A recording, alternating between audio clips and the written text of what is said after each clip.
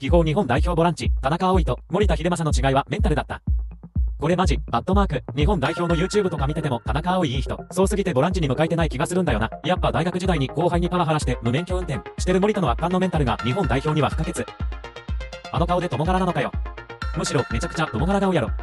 こんなん代表に呼ぶなよ。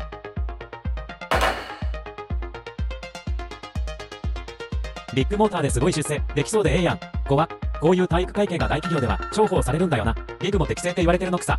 こういうメンタルのやつが必要なんだよな。リベンジポルノじみた流出させる。バカを跳ねのけてきたこそ今の代表がある。マジでいらねえわ。大してうまくもないし、サッカーのイメージ損なう友柄は消えてくれ。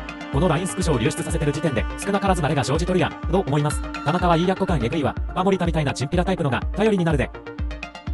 関東人と関西人の違いやね皆さんはどう思いましたか？良ければコメントで教えてください。